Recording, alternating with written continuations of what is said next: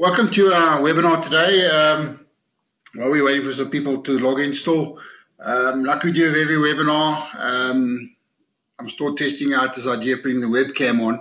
But uh, you can see me there, but once in a while I will be referring to my notes, so just be aware that I am looking away to look at my notes. okay, um, that's number one. And number two is that um, this, this webinar is being recorded, so I'll be sending you the um, the PDF as well as a recording. Um, there's obviously quite a few new faces or new names on this on this webinar today.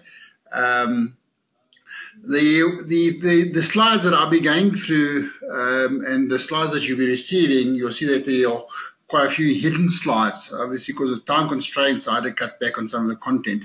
But excuse me to, to explain to you more in, in, when you get the PDF that uh, help you more more information. Okay, so let's get into it. Um, we just uh, minimize this here so I can always see myself. um, okay, um, to get started, let me ask you this question: How many of you um, are considered as key person or as, as a key person or key personnel in your company? Um, this is something that one of the emails I came across this week. It says, um, you know, for example, we've got our annual um, conference coming up at Sun City. And it was quite interesting to look at this email, and it says that colleagues attend the same events frequently, such as national or international conferences, but having key personnel in one place um, poses a business continu continuity risk. So obviously, unforeseen events such as accidents are a potential concern. So, for example, many people like to travel together, employees in the same teams, personnel with the same similar skills, and uh, and or uh, potential successors. But um, so the solution here is obviously for, for, travel arrangements is to fly at different times, make different uh, make use of different airlines, limit key members to two per vehicle, for example, allocate travel uh, companions across divisions, businesses, and obviously units and advisor offices and things like that. But why am I bringing this up? And I think you can see my little subtitle there. We're talking about investing offshore or outside South Africa, and the focus as such is geographic diversification. So I'm using that example so you can relate to what we mean by diversification, by spreading the risk if that makes sense to you. That's number one. And number two, I think it's also important that, you know, if you don't go to a national conference, you're going to miss out on opportunities, opportunities to obviously um, learn more new information, gain, gain um, more or new knowledge and experience, but also opportunity to network. So it's missed opportunities. And that's my gist of my presentation today. Uh, investing offshore provides you with um, spreading your risk, geographic diversification, and obviously taking advantage of investment opportunities outside South Africa. So um, just to get going into it, here's a quote from uh, Fujio um. He was the, um, uh, the, well, he is the chairman of Canon until uh, 1998. He was the president of Canon in, in, in uh, the USA. But he has a quote from him. He says, diversification and globalization are the keys to the future. Um, so that's just a little quote to just put something into context. Um, so let's bring it into it. Let's look at the, the current situation for a lot of people. And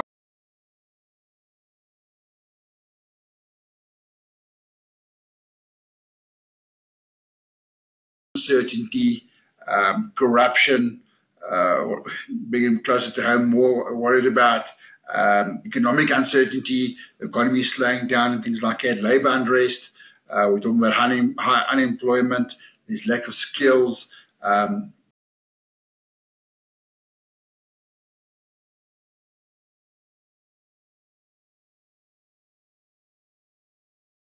yeah, it might be a concern for you.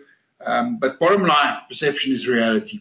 So if I had to bring us into a nutshell, you know,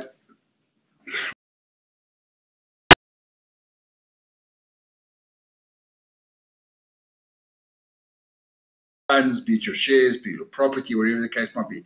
And we all know that obviously you have to be watching that basket very, very closely. And uh, the old uh, cliche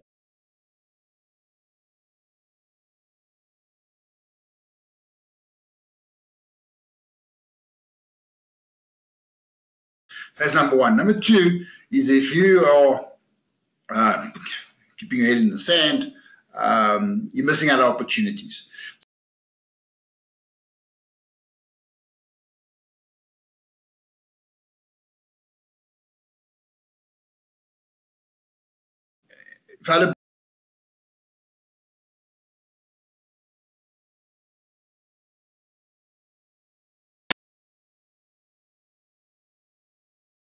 Obviously you understand what is your financial objectives, what are your goals, why do you want to go overseas, uh, why do you want to invest overseas. Yes, ge uh, geographic diversification.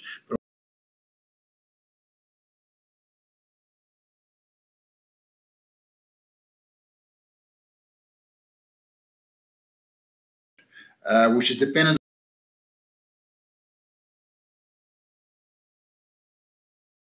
um, and also having a broad um, investment understand or broad theme, understanding of those themes. We look to talk about different sectors just now and opportunities that might present. But also, you have to consider things like income tax and capital gains tax on potential returns in all those different offshore markets. So, you know, investing offshore, especially on the equity side, you know, there's always a risk. There's no such thing as a risk-free investment. Um, so your number one goal always is protect and obviously protect your capital, but also you want to grow uh, your, your, your capital. So risk is controlled through a dis disciplined and systematic uh, risk management, call it that way, risk management approach to the markets. And you do that through um, obviously understanding the markets, so it's through research and obviously analysis. So that's a current situation for a lot of people. A lot of people might not know what to do. Um, so the, the ideal situation would be in a situation where We've got a structured portfolio, be it asset, uh, uh, uh, ideal asset allocation across all the different asset classes. But also, if I look at, excuse me, let's grab some water. Your strategy based on your risk profile, and we talk about different buckets um, your your term. You know, you want uh, uh, you need some income for the next year, next two years, whatever the case might be. There's different strategies that you need to incorporate. But also, we're going to talk about today in the situation where you're diversifying your portfolio globally. Okay, so that's ideal situation you want to be. You want to be a global investor. You want to uh, uh be local but act global. Okay, so how do we get there? Um, what are we proposing? Excuse me there are different investment vehicles to go offshore. So number one, we've got exchange traded products. We're talking about local exchange traded products. You can have uh, exposure to offshore markets, number one. Secondly, obviously, you got, uh, and we'll be talking about uh, different funds available here in South Africa. We've got global unit trust. And then the third option, you've got an offshore trading account, and that's either through offshore allowance account or through an asset swap. And I'm going to go into more detail what I'm proposing around that. So we talk about exchange traded funds. Um, you want to buy rand denominated exchange traded funds. The idea there is no money, no money is going offshore, so it won't affect your offshore allowance. Okay, so uh, ETFs we've spoken about last week and we've done it before. Uh, allows you as an investor to have access to a basket rather than a single share. So you might look at uh, spreading your risk that way first of all. So ETFs are, are passively managed. Um, and obviously, the shares themselves are, are actively traded intraday, but the funds themselves are uh, passively managed. Yeah, at PSG, you got, uh, uh, you got two um, options to get involved with exchange traded funds. You can either, if you've got an equity trading account, they trade exactly like shares, and um, so um, that's one way of getting involved with them. Um, and obviously, there's a whole list available on our website, and I highlighted two uh, companies that provide uh, exposure offshore. Alternatively is what we call the investment um, plan. This is where you're going to contribute, contribute monthly or lump sum investments. So the minimum requirement for a, a, a, a monthly debit order is 300 Rand a month or a minimum lump sum is a thousand rand. So it's great for rand, what they call rand cost averaging, and your views long term. And there are two companies that really, or two companies that are involved in this space uh, that that offer um, offshore or foreign ETP, you call them ETPs, exchange traded products. Deutsche Bank is the primary issuer. They have eight. They've got five um, ETFs and three uh, ETNs. So ETNs. And then BNP Paribas, they got uh, they, what they call uh, gurus. Um, they've got ETNs, uh, exchange traded notes, and you have exposure to Asia, Europe, the US, and world. But on the next slide, you'll see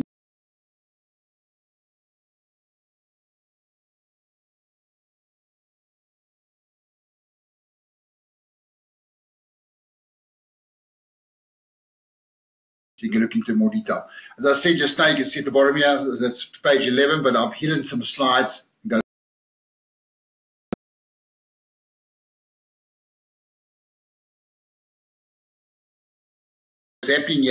The last few uh,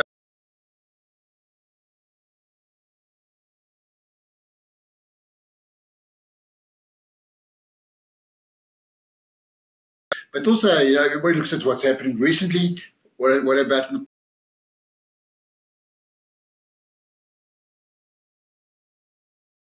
percent in 77 days? So this is a kind of uh, opportunity you got, especially if you want to have exposure to offshore markets um, as a rand hedge. Okay. So um, yeah, I'm just say highlighting DBX trackers for you. Um, there's also the the the, the uh, Paribas Gurus. There's five of them. These are ETNs. The difference mainly there is that uh, ETFs or collective investment schemes. Um, they're mainly based on, on, on, on, shares that. ETNs as such are a bit more, um, uh, not so much equity orientated. Uh, there's different criteria. I'm not going to go into too much detail now with uh, the difference between the ETNs and ETFs. But uh, you can see the, the, the performances there, very, very similar. Okay. And then um, we're talking about global unit trusts. And in this space, you want to buy dollar denominated unit trusts. Um, you can either on, on our platform a uh, minimum investment is 500 rand or lump sum is 20,000. But these um, unit trust gives you exposure obviously to, to equities or listed property, variable instruments, multi-class, but we're going to concentrate on the offshore funds. Uh, in the PSG space, we've got two funds. We've got PSG Global Equity. You see it's uh, a US dollar denominated. It is higher for, for the person with higher risk. Um, you see it's totally 100% exposure. It doesn't pay out any um, um, the income. Okay, income distribution does not distribute. It obviously invest, but you also can see the, the minimum requirement, five thousand power. Sorry, five thousand dollars.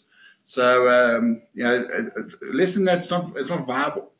Okay, and then we also got uh, the, the PSG Global Flexible Fund. This concentrates more on on a you call it a, um, a multi-asset approach. So we're talking about global equity, bond, and money markets. Um, it's also from a moderate to a high um, risk profile.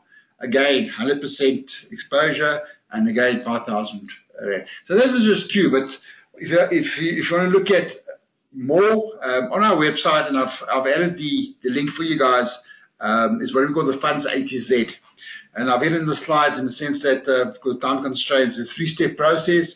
Yeah, you would select the categories first of all. Select the categories. So in this situation, I'm looking at all equity, all multi-asset, and geographic location. I'm selecting global, which is just 100% off, offshore, or worldwide. It's, it's local and offshore. Okay, so that'll be the first step. Select different categories. Secondly, uh, once you've got that list, uh, you'll select which funds you want to compare against. Okay, and then the third step, obviously, you compare, do further analysis, and then choose and then buy. Okay, so this is a, another way to get started by choosing those funds. Um, we talk about the third uh, way of get, taking your money offshore, having exposure offshore, and that's by opening up an offshore um, investment account. So first of all, we've got what we call a offshore allowance, using offshore allowance. Excuse me. So as a trading account offshore, uh, having an offshore allowance, um, first of all, your exposure to 35, excuse me, I've got a frog my foot here. You have direct exposure to 35 markets offshore. And if you think in South African, the JSE has got 450 companies, 450 shares listed. The New York Stock Exchange, which is only one, uh, one exchange, it's over 8,000 uh, listed companies. So um, obviously the market gets much bigger when you're going offshore. But all these, when you open up offshore account, uh, you can um, elect what currencies um, you want to be trading in and things like that. So it's all these different markets, number one. Secondly, all these different currencies. Can you see how you diversify? So that's one way of doing it. You can choose to uh, do it yourself, or um, you can have a portfolio uh, constructed for you um, based on global shares as well as ETFs. Okay. Um, if you feel that you do not have enough knowledge or do not feel confident enough to do it yourself, you can appoint a, a team of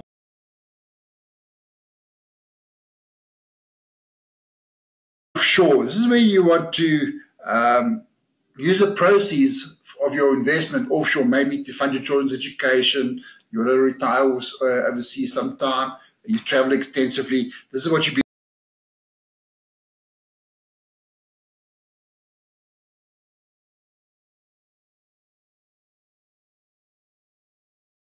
rand per year. This is if you don't want to repatriate your money back to South Africa.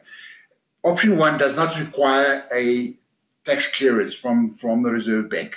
So you're allowed to take a million rand offshore every year without having to go through the process of getting tax clearance. If you want to take more than that every year, you can invest up to 10 million in offshore shares. Okay. Uh, again, this is your objective is not to repatriate your funds back very soon.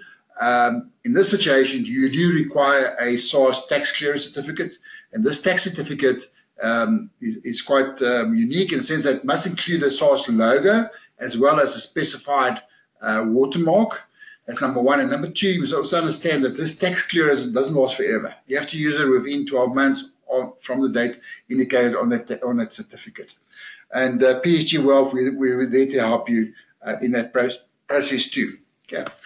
Um, then the third option is that if you don't want to take your, or you've exhausted that, uh, your offshore allowance and you're looking at taking more money offshore, number one, um, or alternatively, you had uh, your investments in a trust or in a company or in a partnership. For example, investment club. As an investment club, you want to take your money offshore, then you have to use option three, which is PSG asset swap facility. It's our asset swap facility. Um, you, there's no limitations. You can take as many as much money as you want offshore. There are minimums, minimums however. We're talking about five thousand pounds or the rand equivalent. Uh, we're talking about 21 Rand to the pound, so we're talking about more than 100,000 Rand. So this is not for everyone. It also applies to the offshore allowance, minimum of 100,000 plus. If you take it 100,000 divided by the dollar exchange rate, you're going to get a few thousand dollars. So you're, you're, you're limited with um, opportunities offshore. So from economic, well, make it economically viable, that's why we ask for more than 100,000.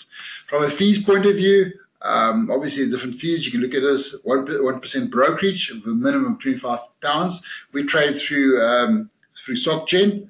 Um, you can see this all the different criteria. Clearing and custody fee, 13 pounds. Stamp duty.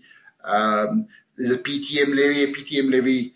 Um, this is the, um, if I remember rightly, me get to my notes here.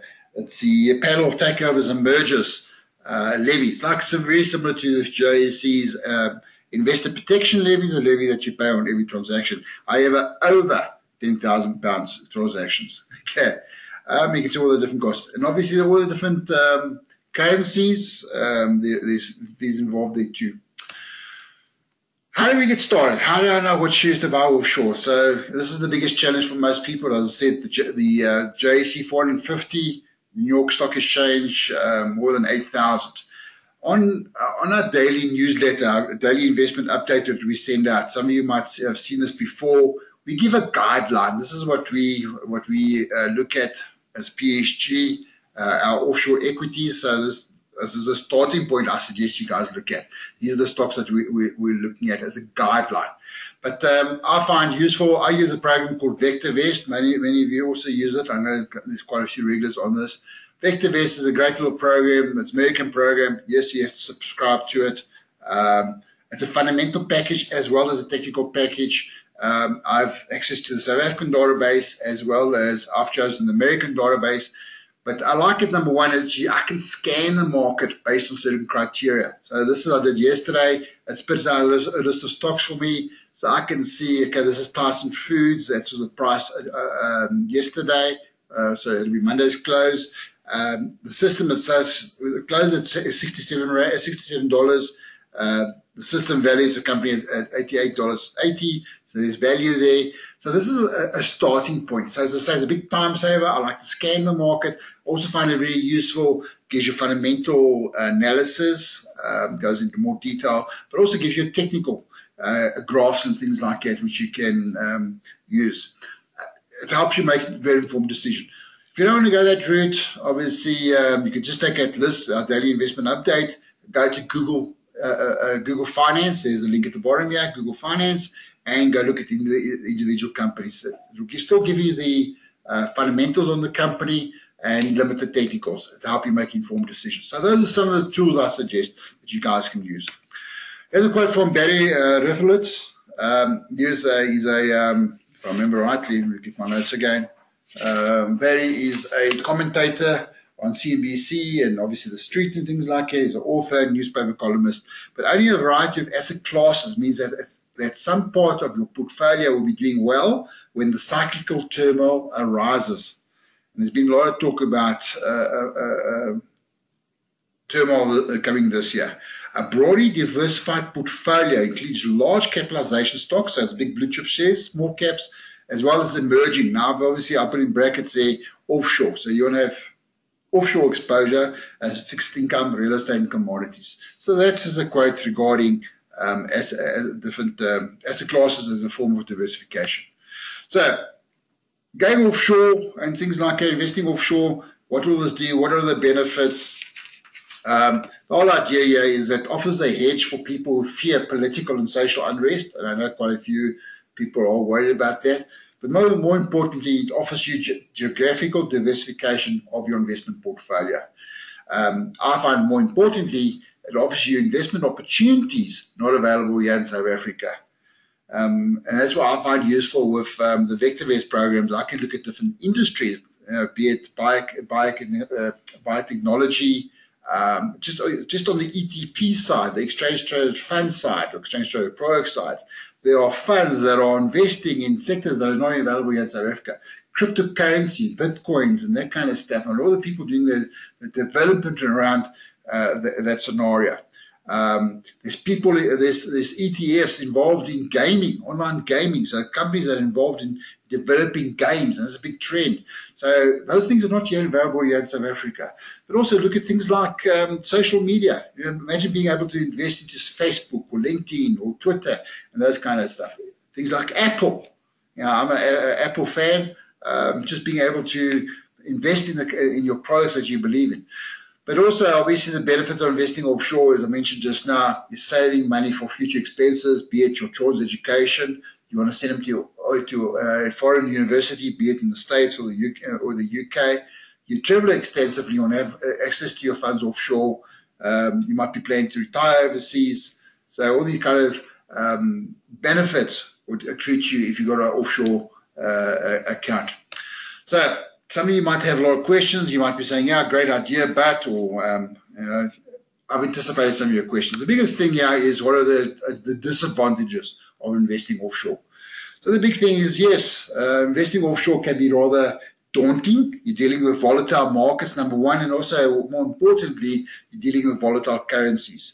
There's also a lot of events unknown to you as an individual investor. So, yeah, uh, it's, it's for more the advanced investor. So if I look at the novice, intermediate, advanced investor, going, going directly offshore would be more for the advanced investor, someone who's got a portfolio here already and wants to diversify.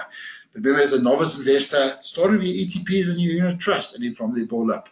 Um, investing offshore requires a huge appetite for risk time to watch the markets. And thirdly, obviously, expert knowledge of the markets, number one. And number two, the trading processes. I suggest is that seek the advice of the financial advisor. And uh, this link here, by the way, will take you through to on our webpage where you'll be able to find a financial advisor that specializes uh, by investing offshore. So uh, set up a meeting, discuss it, discuss your needs with, with the financial advisor. And then obviously developed economies have a much lower interest rate than South Africa. So, you know, just on the on the income side or the uh, just lying in cash, uh, your investment might grow much slower. Beware of those kind of things. And the big the big thing for a lot of people is it requires a significant chunk of funds to invest offshore. As I say, minimum of five thousand pounds or minimum of at least 100,000 rand. So those are some of the disadvantages. But I still believe the advantages far outweigh the disadvantages. And then something you might be also considering, yeah, what about the rand? Now, I to stress the important thing here. We are not talking about investing offshore because of the rand. I mentioned it earlier this morning that some of you might be worried about it. Um, investing offshore is not because you want to play the market by betting on currency fluctuations. You want to rand hedge um, element, rather go buy currency futures or go buy dollars. You know, take your money offshore and buy dollars. That's a rand hedge. So here's a, a, a chart, inverse chart of the rand. So we're going from six rand here to seven, to 17 rand. And recently you can see it's, it's, it's strengthened. So we're still way below those moving averages. We're still long-term showing rand weakness. But this recent law, call it a, a, a rally, highlights for your opportunity where, uh, yeah, long-term market weaken again, opportunity maybe to take offshore money offshore again. But I want to stress, it's not the rand. Okay, why you want to go offshore? You want to go offshore because you want to diversify your portfolio, the risk geographically, number one, and also number two, you want to take advantages of opportunities not available in South Africa. Okay, I hope that, that message come across. So as a quote from Barry again, the beauty of diversification is and it's it's all about uh, uh, as close. Uh, sorry, is it's about as close as you can get to a free lunch in investing. So um, it's just spreading that risk around. It's not about making money; it's avoiding capital losses. Okay. So let's see what questions you guys have got. I hope you found this informative. Cool.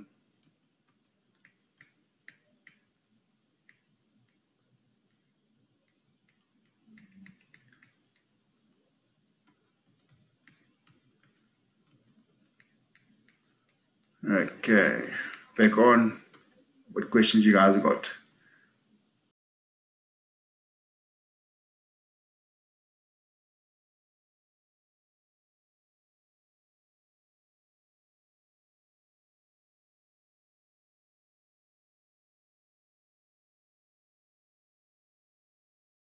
From Lavina, how is it is to open an offshore account, bank, bank account, and what may uh, via some recommendations you have.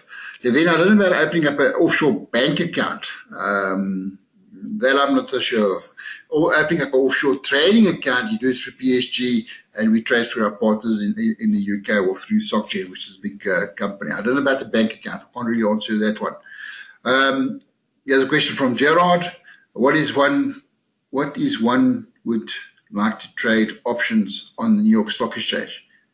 Um, I'm not 100% sure your question is, Gerard. What, what is one way? What, what options? Um, you'll have to speak to a broker that deals with options. Unfortunately, we don't trade options here. Um, why does PSG not include trade in Indian Stock Exchange? Um, I wouldn't have to come back to you that question, Samaya. Um, the 35 markets uh, alternative. Okay. I'll have to come back to you on that question also why this, but there are a lot of other stock exchanges also we have not included. Quervus, maybe this is more a question for my tax advisor, but quickly explain tax implications of investing offshore, double taxation. Uh, yeah, remember tax, you only tax on profits if you, if you sell. Uh, that's number one. So be aware of that kind of stuff. Um, and also when you do open up a, uh, a offshore account, you have to declare what they call FATCA, especially with American markets and things like that. But um, yeah, I think it's more question for your tax advisor, Quibus, and the taxation. Um, question here from Estelle. Can you withdraw money from your PSG offshore account in other countries? Um, that again, I would suggest you link it, your, your, your offshore account to a bank account, and I wouldn't know how you do it from there. Um, I'll have to find out for you. Good questions. Uh, you guys make me think. okay. France, uh, regarding the link to financial advisors, uh, also featured somewhere on the PSG online website. Uh, yes, um, contact us. That's where I, I, linked it to, and from there you can find the link to the uh, advisors. Question here from Mike Toy. Uh, why are certain options not recommended if one wants to potentially bring back the money to South Africa? Why are certain options not recommended if one wants to potentially bring money back to South Africa? Uh, Mark, I'm not 100% sure of your question. What what options you talking about?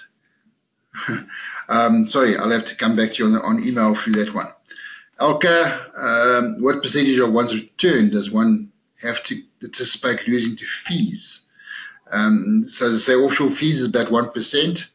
So, um, uh, fees is just part of the game. Obviously, that's why the, the bigger the transaction, the cheaper it becomes. Um, Mandy, um, how do you suggest one divides one's investment between property and equity? Would you go direct investing into property? Uh, as in physical fixed property, Mandy, I'm not 100% sure. Um, if you're looking at offshore, um, you know, listed property, um, difficult one. Again, speak to your financial advisor. You know, I'm not, I, I, can't, I'm not allowed to give financial advice on this platform. Um, what do financial visas entail and at what rate? So you need to get, get all of the advisors and, and speak to them themselves. Um, each one is different, but um, um, you're paying for advice, and uh, it's, it's it's better to, to have advice and not lose money. Um, great questions, guys. Thanks a lot. What is the, uh, the additional fee layer implication of trading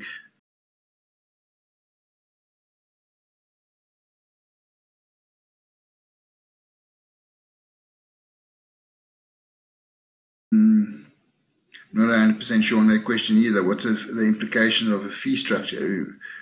Uh, offshore platform, um, it's 1%. If you want to trade shares offshore,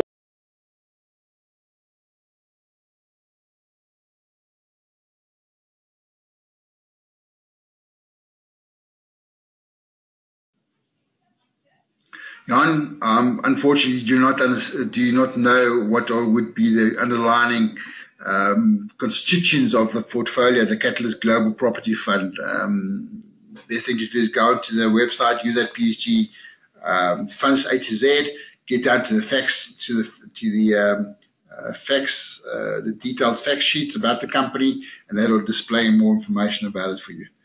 Okay, pleasure, Philip. Okay Looks like those all the questions coming through. Awesome. Guys, uh, just quickly um, summarize it for you guys. Um, what you want to get, what I want you to get from this presentation as such is people invest offshore for many different reasons. Obviously, financial circumstances, your dreams, your fears, um, plans for the future. But um, you know, saying that achieving your goals is directly dependent on having investment strategy um, that takes these personal factors into account. So your risk profile, how much fund you're taking offshore, time, and things like that.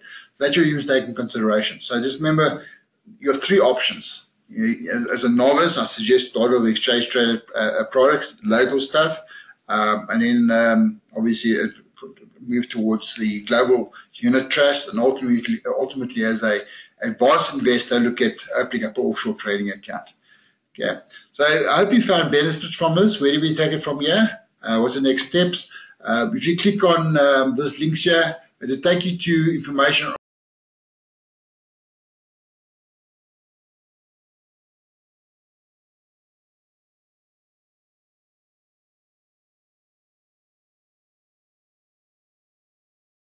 department and there are their contact numbers. As I mentioned right in the beginning, um, the PDF as well as the recording will be sent out to you guys. Um, I really appreciate you can give me some some feedback. Complete the uh, the survey that's in, in the follow up. Uh, give me some some indication where you guys want more help and things like that. Just quickly, quick, um, next week we're discussing the five pros and cons about investing and trading. Um, so if you're looking at being an investor or trader or both, uh, we'll look at the pros and cons. week after that, we're talking about um, is choice and flexibility critical to investment outcomes. Um, and in the, in three weeks or three weeks time, just understand, just be aware that some of you guys uh, uh, realize that every Wednesday we have a webinar on the 25th, 20, sorry, 27th of April. It's a public holiday. Um, so I moved this to one day before, to the, 20, to the 26th of April. And yeah, we're talking about a disciplined investment, investment approach that comes with tax benefits. Okay. So, guys, from my side, I hope you've enjoyed this webinar. You found it beneficial. Um, I didn't go too much over time today. So, um, appreciate your participation. And until next week, all the best. Keep well. Um, there's my contact details. If you want to ask me, ask me any more questions, um, by email, seanvdb at psg.co.za. Until next week, enjoy, enjoy your day um, and keep well. All the best. Bye for now.